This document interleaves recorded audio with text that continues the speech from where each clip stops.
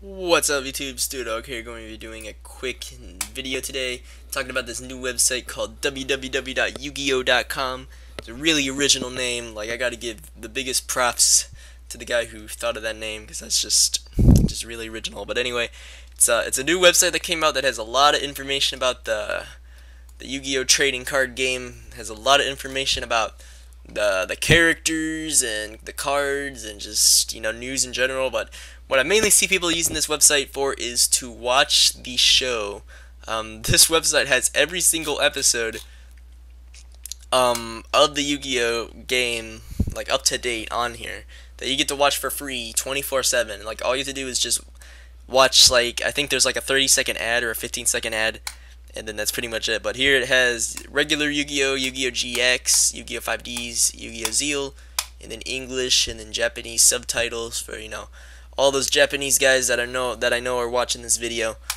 Um, but anyway, yeah, let's go to like um, regular Yu-Gi-Oh. You get to um, go to random season four.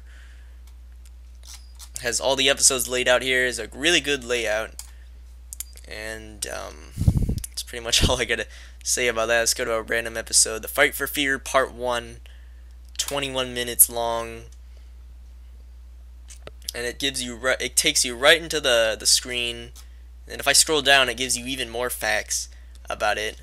Um, right here, it tells you all the characters in the episode and all the cards in the episode.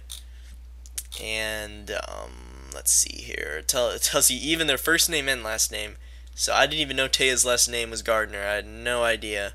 And then uh, Taylor, I think I knew that, but not a lot of. I, there's obviously someone who doesn't know that Tristan's last name is Taylor.